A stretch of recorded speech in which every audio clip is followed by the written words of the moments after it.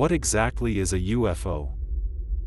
Well, UFO stands for Unidentified Flying Object. It's not necessarily an alien spaceship, it simply refers to any flying object that can't be easily identified or explained at first glance. Throughout history, people have seen mysterious lights and shapes in the sky, sparking speculation about extraterrestrial life. But most UFOs turn out to be natural phenomena, or misidentified man-made objects or top-secret military aircraft. In fact, many UFO sightings are now linked to advanced technology, including classified government projects.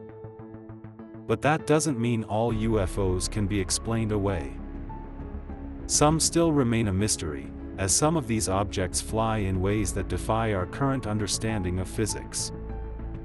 So much so that the United States Department of Defense has set up a special department called AARO, the All-Domain Anomaly Resolution Office, that investigates UFOs and other phenomena in the air, sea, and on land.